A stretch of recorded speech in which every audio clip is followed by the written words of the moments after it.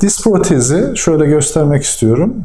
Ee, parlak olan eklem yüzeyinin kıkırdak kaybından sonra yaptığımız eklem yüzeylerinin e, değiştirilmesi ameliyatıdır.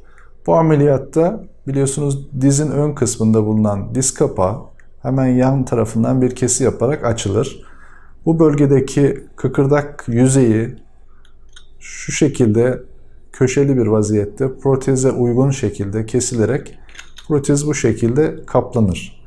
Yine alt taraftaki kaval kemiğinin yüzeyi kesilip üzerine bir metal ve araya da bir e, kıkırdak yerine geçecek bir e, protez yüzeyi konur. Bu şekilde iki yüzey birbirine artık sürtünmeye başlar.